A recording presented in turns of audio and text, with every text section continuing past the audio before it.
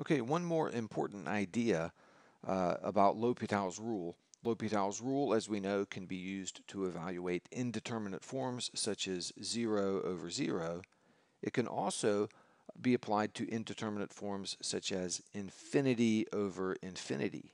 And let's take a look at some examples here. So the limit as x approaches infinity of x cubed over e to the x. Well, clearly, as x gets big, as x grows without bound, the numerator gets infinitely large and the denominator gets infinitely large. So if loosely speaking, we can substitute a value of infinity in for x in both of these expressions, we get infinity over infinity, and that's in an indeterminate form. So L'Hopital's rule says that we can still evaluate the limit, or at least try to evaluate the limit, by taking the derivative of the numerator and the derivative of the denominator.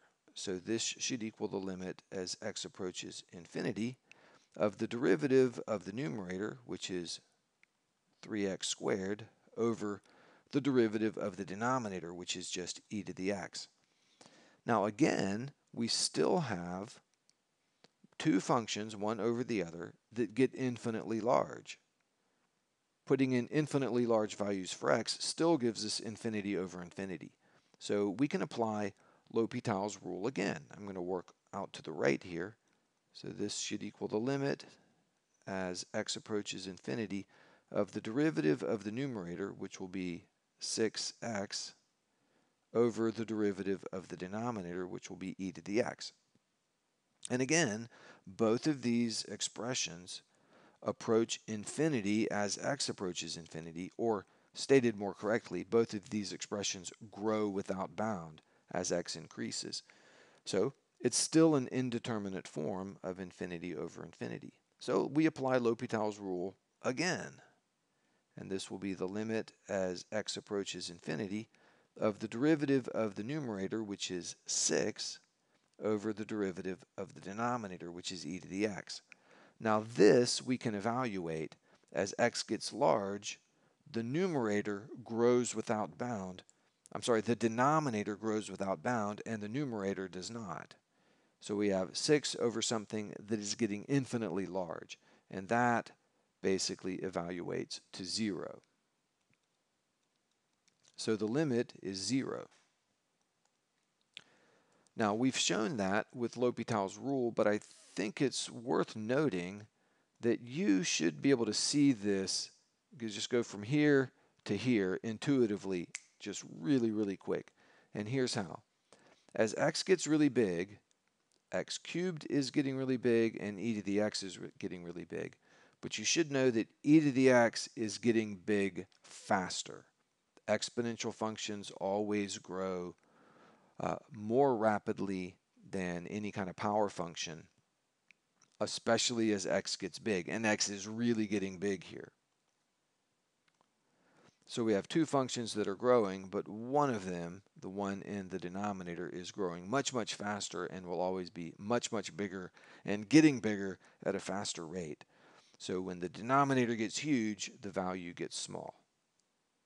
Or loosely speaking, you could say that the x cubed graph approaches infinity more slowly than the e to the x graph. And here's another example. The limit as x approaches infinity of 3x squared plus 7 over 2x squared minus 8. So these are both quadratics, and they're parabolas opening upward. So as x gets big, the numerator will get big, and the denominator will get big.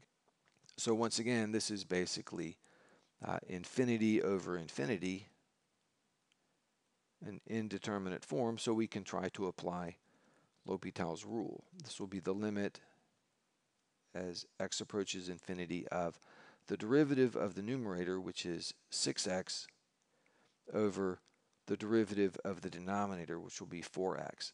And in this case, we can do a real quick simplification. These x's cancel, and we're just left with 6 over 4. This evaluates to 6 over 4, which will simplify to 3 over 2. And that's the answer. So L'Hopital's rule allows us to get to a simpler expression that can be evaluated by a simple substitution when we have an indeterminate form. Now another thing that's worth noting here is that this gives us the result we would expect from earlier techniques. Remember how um, we talked about limits of rational functions. If you have one polynomial over another, as x approaches infinity, as x gets really large, the lower power terms become insignificant compared to the higher power terms. So if we're evaluating a limit as x approaches infinity of one polynomial over another, we can basically ignore all the lower power terms, and this leaves us with 3x squared over 2x squared, and the x squareds cancel out, and we're left with 3 over 2. So that's the technique that we've seen before for calculating the limits of rational functions as x approaches infinity. And as you can see, that gives us the same result as L'Hopital's rule.